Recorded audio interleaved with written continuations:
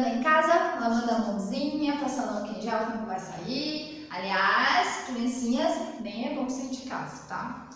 É, vamos lá. Vamos começar a nossa semana trabalhando com a disciplina de História, tá?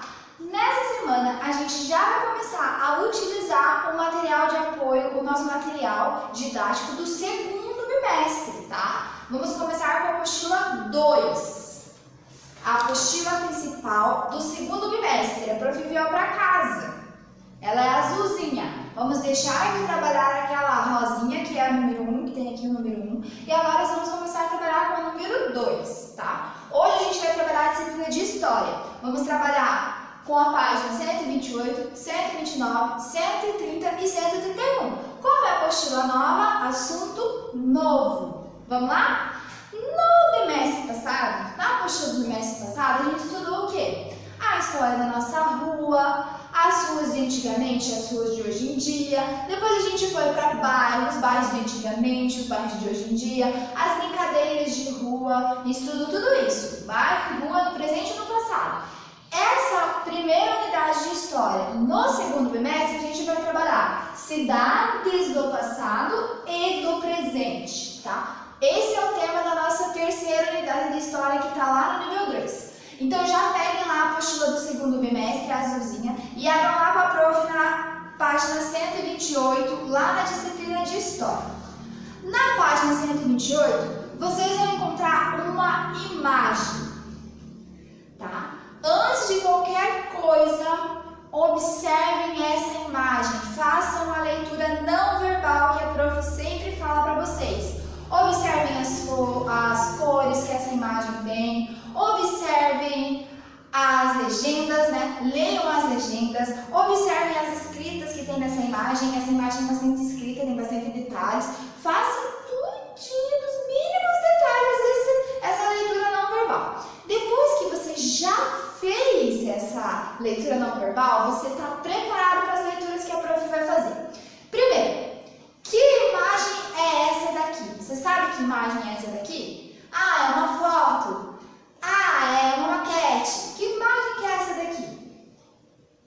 Quem leu a legenda lá embaixo já sabe do que se trata essa imagem. É um mapa. E o que esse mapa está representando? Ele representa parte do sistema metropolitano de transportes da cidade de São Paulo em 2014. Por que parte do sistema de transporte? Por que parte? Porque não é um todo, é só uma parte. São Paulo é muito grande, então aqui eles representaram apenas uma parte do sistema metropolitano de transportes. Você sabe que tipo de meio de transporte esse mapa aqui está tentando representar? Será que é carro? Será que é ônibus? O que, que será que é? Você que observou com muita atenção essa imagem já sabe que aqui está se tratando do sistema metropolitano dos meios de transportes, que é o trem e o metrô. A prova quer saber se tem alguém nas nossas turmas que já andou de metrô ou de trem. Eu nunca andei, mas eu gostaria muito de um dia andar, deve ser muito bacana. Quem andou, como é que foi E aonde que você andou? Conta pra gente depois, tá? É, o que mais? Lá na página 129 tem uma interpretação dessa imagem que vocês acabaram de ler, dessa imagem que vocês acabaram de fazer a observação. Vamos lá? Número 1. Um, você sabe que tipo de imagem é essa? É um mapa. E o que ela retrata? Ela retrata, vocês podem pegar lá na legenda debaixo da imagem. Ela retrata o sistema metropolitano de transportes de São Paulo. Ela retrata parte desse sistema de transportes, né? É, dois, o objetivo dessa imagem é, essa daqui é de marca X, vocês vão marcar X na resposta que está correta. O objetivo da imagem é organizar a utilização do transporte particular na cidade, orientar a utilização transporte público na cidade ou identificar as ciclovias existentes na cidade. Qual você acha que é a correta? Bom, eu vou dar algumas dicas aqui. A primeira alternativa ela fala sobre transporte particular. Será que o transporte particular seria grande desse jeito? Teria tantas rotas desse jeito? Acho que não, né? A terceira fala de. Se aqui estivesse falando de ciclovia, será que teria tanto pontinho de parada? Vocês já observaram que essa imagem está cheia de pontinho de parada e cada pontinho tem uma descrição? São as estações que os metrôs fazem em suas paradas e cada estação tem um nome que está escrito ali com a letrinha bem pequenininha. Então qual que é correta? Marca X na correta. Número 3. Quais meios de transportes essa imagem representa? A prof já falou, ela representa os meios de transportes que é o trem e o metrô. Aqui em Curitiba a gente ainda não tem esses meios de transportes com a função de locomover pessoas. Mas lá em São Paulo, Rio de Janeiro, maiores cidades muito bem desenvolvidas, é muito comum esse sistema de meio de transporte para facilitar uh, o transporte das pessoas, para não ter tanto carro nas ruas, enfim, por uma questão de, de urbanismo, de espaço mesmo, tá? Porque a cidade é muito grande, já não tem mais para onde crescer, já não tem mais carro para circular nas ruas, não tem espaço. Número 4. O que cada uma das linhas traçadas representa? Por que, que cada linha lá daquele mapa tem uma cor? Por que, que não são todas de uma cor? E o que cada linha dessa representa? Você sabe me dizer? Cada linha tem a sua própria cor lá no mapa, porque cada uma se trata de uma linha de metrô ou de trem. Cada um representa a linha de, um trem diferente. Um trem que vai para um lugar diferente. Cada um tem a sua linha, tem o seu destino. Por isso que cada uma está pintada de uma cor diferente. Então, o que as linhas passadas representam? Cada linha indica um trajeto dos trens e metrôs existentes na cidade. Cada linha tem uma cor porque indica um destino, um trajeto que cada trem vai seguir. Não tem um trem só na cidade, tem vários. E cada linha está representando o trajeto que esses trens fazem. Número 5. O que são os nomes apontados nessas linhas? Lembra que a prof falou que tem vários pontinhos e cada pontinho tem um nome? Os pontinhos são os nomes das estações. O que, que é estações? As paradas que os, que os ônibus, no nosso caso, mas que lá os, os metrôs e os trens fazem para que o povo embarque e desembarque do metrô, tá? 6. Com base na imagem, converse. Aqui é uma questão para trabalhar a oralidade de vocês, não precisa escrever nada nessa questão 6. Na cidade onde você mora, circulam meios de transporte retratados? Não! Na cidade onde a gente mora, no município aqui, não tem esse trem ou metrô. B. Cite uma diferença e uma semelhança entre os meios de transporte da capital paulista e os da sua cidade. Bom, uma semelhança que a gente pode indicar é o transporte público. Lá o transporte público é o metrô e o trem, apesar que tem o ônibus também. Aqui nós temos como transporte coletivo o quê? O ônibus. É uma semelhança? É. O quê? O transporte coletivo. Quais são as diferenças? Meu Deus, inúmeras. É, o tipo de meio de transporte, a velocidade que ele percorre, o trajeto que ele faz, inúmeras diferenças. C. Com essa imagem, é possível citar outras semelhanças e diferenças que possam existir entre a cidade onde você mora e essa? Sim, só de você saber que uma cidade já tem esse, esse sistema de transporte que é o metrô e ônibus, você já consegue entender que a cidade ela é bem maior do que a sua, ela é bem mais desenvolvida que a sua e que ela precisou adotar outros meios de transporte por uma questão que não cabe mais tantos carros na cidade para ficar se locomovendo para lá e para cá, tá?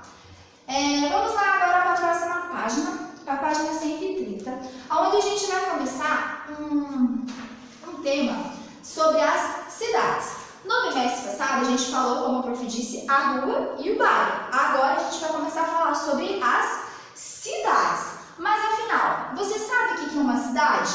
A prof vive falando aqui a cidade de Fazenda Rio Grande, daí depois eu pego e corrijo para o município de Fazenda Rio Grande. Por que isso? É porque tem uma certa diferença. Cidade é um meio urbano, só urbano, onde só tem o meio urbano. Já o município, ele tem tanto um pouquinho de cidade, quanto um pouquinho de campo. A cidade só tem área urbana, área com prédios, área com casas, área com lojas, ruas asfaltadas, bastante moradores. Já o município, ele tem tanto essa área urbana, que é a área da cidade ali, quanto a área rural, que é uma cidade mais retirada, uma cidade não, uns bairros mais retirados dentro da própria cidade, que não se concentram tantas lojas, tantas casas e tem um pouco mais de espaço verde. Essa é a diferença. Cidade só tem área urbana, município tem área urbana e área rural. Por isso que a prof sempre fala que a Fazenda Rio Grande é um município, não é uma cidade, porque ela tem tanto a área urbana, que é aqui onde a nossa escola está localizada, como também tem a área rural, que é Jardim Veneza, Santa Maria. Tem uns outros bairros ali também que é considerado ainda área rural, área de difícil acesso, por isso Fazenda Rio Grande ainda é um município, não é ainda uma cidade, tá? Mas Curitiba já é uma cidade, já é uma área totalmente urbana. Para vocês entenderem um pouquinho melhor, prof vai dar um exemplo aqui. Prof fez esse negocinho que ele indica e distingue certinho as coisas. Primeiro, a gente estudou sobre a nossa rua. Depois, a gente estudou sobre o nosso bairro. Agora, a gente vai começar a falar sobre a nossa cidade ou o nosso município. A rua, ela está localizada no bairro e o bairro está localizada na cidade. Eles fazem parte de um todo. A diferença é o seu tamanho. A rua tem o tamanho de uma rua, o bairro tem o tamanho de um bairro, a cidade tem o tamanho de uma cidade. Mas um está inserido no outro. Entenderam? Retomando o nosso conteúdo lá sobre o que é cidade, temos ali uma atividade para a gente fazer. Número 1. Um, marque de vermelho a imagem, a área da imagem que mostra a parte urbana deste município. Aqui na imagem está retratada um município, é uma foto de satélite, uma foto aérea. Está retratado um município. Como a prof acabou de falar, um município é aquele que tem tanto a área urbana, que é a área da cidade, quanto a área rural, que é a área do campo. Então vocês vão pegar uma canetinha vermelha, pode pegar a canetinha mesmo, e vão fazer um círculo nessa imagem, pode circular na imagem mesmo, aonde está a área urbana desse município. Como que você vai conseguir identificar qual é a área urbana e qual é a área rural? A área urbana tem uma maior concentração de casas, de pessoas, de ruas, de meio de transporte. Já a área rural ela tem um grande espaço de verde, plantações, árvores, tem poucas casas. É assim que você vai conseguir identificar. Depois que você fez isso, anote duas características, isso no número 2, tá? Anote duas características que ajudarão que ajudaram você a identificar a área urbana para realizar as atividades. A atividade número 1, um, que é a atividade anterior. Então, assim, na número 1, um, você vai pegar sua canetinha e vai circular lá na imagem aonde que está a área urbana daquele município, tá? Depois que você fez isso, você vai colocar no número 2 duas características que fez você saber qual era a área urbana. Como que a gente sabe qual, era, qual é a área urbana olhando para aquela imagem? A prof acabou de falar que a área urbana tem o quê? Tem muitas casas, muitos moradores, muitos comércios, muitas fábricas, indústrias, muitos meios de transportes. Já a área rural tem grande área verde de plantação, tem poucas casas, poucos moradores, poucos meios de transportes. Como que você identificou que era ali era a área urbana? Você pode colocar lá. Ah, eu consegui identificar através de, de um grande número de casas, através de um grande número de ruas. Escreva lá a sua resposta, tá? Número 3. Qual é o nome do município que você mora? Essa daqui é uma resposta pessoal, vai valer de criança para criança. Por exemplo, a, o município onde eu moro é Fazenda Rio Grande. A minha avó mora no município de Araucária. A minha mãe mora no município de Mandirituba. Cada um mora num diferente. Tem muitas crianças que moram aqui junto com a prof na Fazenda Rio Grande. Porém, tem crianças que moram em outros municípios. Você mora no campo ou na cidade?